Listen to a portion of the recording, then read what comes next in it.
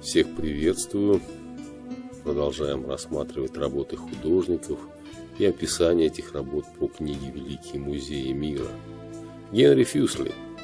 Сон пастуха из потерянного рая.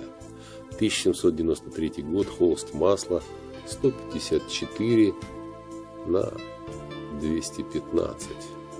Генри Фюсли – швейцарский и английский художник, график, историк и теоретик искусства.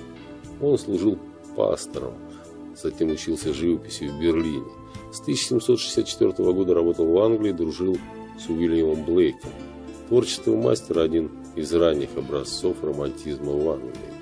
Поэмы Джона Мильтона «Потерянный рай» и «Обретенный рай» привлекли внимание Фюсли еще в молодости, когда он жил в Швейцарии.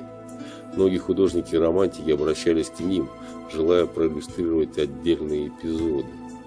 Данная картина изображает строки из первой книги поэмы, в которых повествуется о сказочных эльфах. Малютки-эльфы, что в полночный час на берегах ручьев и на лесных опушках пляж, поздний пешеход их видит в явь, а может быть в бреду, когда над ним царит луна, к земле снижая бледный лед.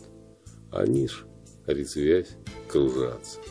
Вместо того, чтобы изображать эльфов танцующими, как это обычно делалось, автор представляет их взявшимися за руки и кружащимися над спящим пастухом, которому это видится в его фантазии.